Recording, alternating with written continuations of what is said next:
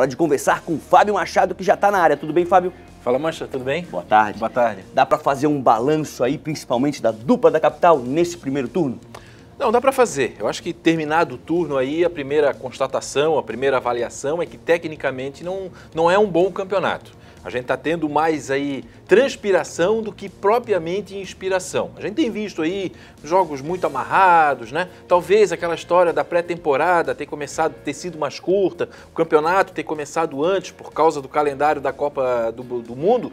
As equipes estão tendo dificuldades. Agora, torcedor do Figueirense não tem nada a ver com isso. O Figueirense não tem nada a ver com isso. O Figueirense está sobrando na competição, é líder, invicto, tem o artilheiro, tem o, uma, o melhor ataque. E o Figueirense tem que tomar uma lição, a lição que o Havaí ano passado. Você lembra que no ano passado o Havaí conquistou o turno, ganhou a vaga para a final, esse ano não é assim mas o Figueirense tem que tentar pelo menos trazer um jogo da final para o Orlando Scarpelli, que seria a única vantagem, né? Empatando vai para a penalidade.